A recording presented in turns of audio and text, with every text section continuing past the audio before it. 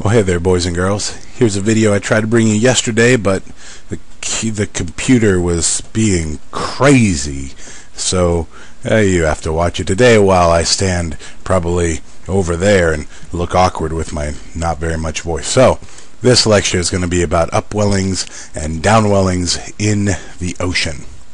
First things first, here's a pretty sweet animation. Let's see if I can pull it up here. Here it is. This came right out of the book. Uh, that link there, I'll show it again. It's a short link. You just type in those things exactly. will bring you to this animation. What I really like about this one is you can actually see the different wind areas and use that to show you how the currents fit in. You can see how these currents are really driven by the wind. But it's really nice because it can also show you the equatorial currents it can show you the high latitude currents. It can show you all the currents. And this is basically what your map should have going on it, except they really skimped out on the Sverdrup over here. And the Gulf Stream, uh, yours is probably way better. And I guarantee that your East Australian current is not just a little line going down here that looks like part of a gyre. No, your East Australian current's probably doing all kinds of crazy stuff, just like it should. Again, here's that link. This is, I believe, the uh, capital O. It looks like it might be a number zero, but I believe it's capital O, lowercase x. Make sure you type that in exactly. Now would be a good time to write it down. Link also in the description for when you watch this later.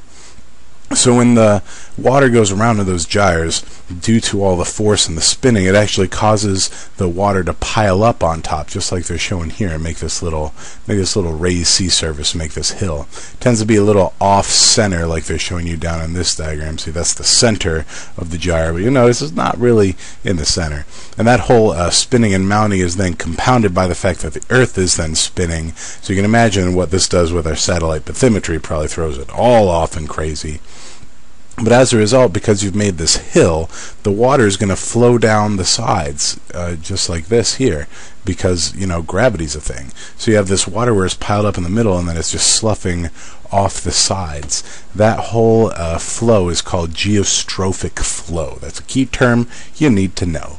Geostrophic flow, that whole idea that the water piles up and then plops on off to the sides. And don't forget, it's because of Willie. Now, because all that water is piled up there, it makes a large amount of, you know, weight because, you know, you have all this stuff right here that is heavy. So as a result, the water is going to move, look at the arrow, uh, down, just like the arrow shows, and that's going to cause areas of lower productivity. This water moving down, we call that downwelling. The reason why it's causing lower productivity is because it's taking any of the nutrients that would be up here in the water column and it drags them down with it. So it's depriving the surface water of nutrients so that the uh, living things can't, you know, live so good. And of course, if there's downwelling, then we got to have some upwelling. These are areas where you have some kind of divergence on the surface. You can see right here, the arrows pushing off to the side so we've got this void right here where there used to be water is kind of has water but it's it's created this gap not you know you're not going to see a hole in the water but it's created this area of lower pressure in the water at least. And because that water moving out has a lot of hydrogen bonding to the water below it which gives the water good cohesion so it sticks to itself it's going to cause the water to get pulled up just like they're showing you right here. Oh yeah that looks very bad. So the water comes up that's actually going to increase productivity at the surface because it's bringing all this water from the muck and the gook below. And that muck and gook below is very nutrient rich because remember, that's all those dead bodies falling. Little uh, trick of the trade anytime you hear like a biologist or somebody talking about nutrients, those are dead bodies. So just remember those biogenic sediment parts that we were looking at before, all the soft parts inside there, when they died and are decomposing, those become the nutrients to feed those upper level waters.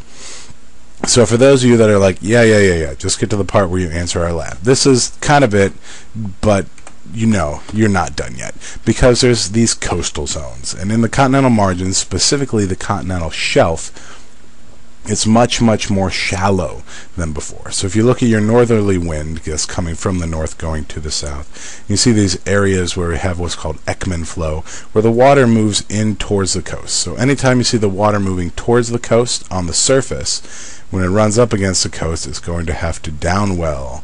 There it is, downwelling. Oh, that's great, isn't it? So that's your downwelling. So you have the water moving away from the coast here. Creates this void right here.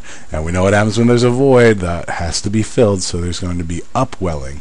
The water creeps on up the slope, sort of like opposite of the turbidity current almost. And that is going to have upwelling in those coastal areas. So on your maps, make sure you show me areas of upwelling and downwelling. Don't forget, in the middle of your gyres, you always have that downwelling, right, where that water piled up and pushes down.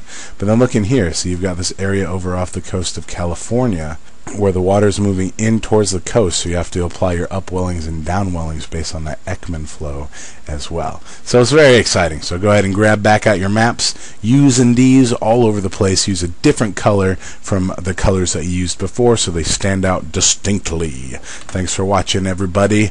Don't be a willy.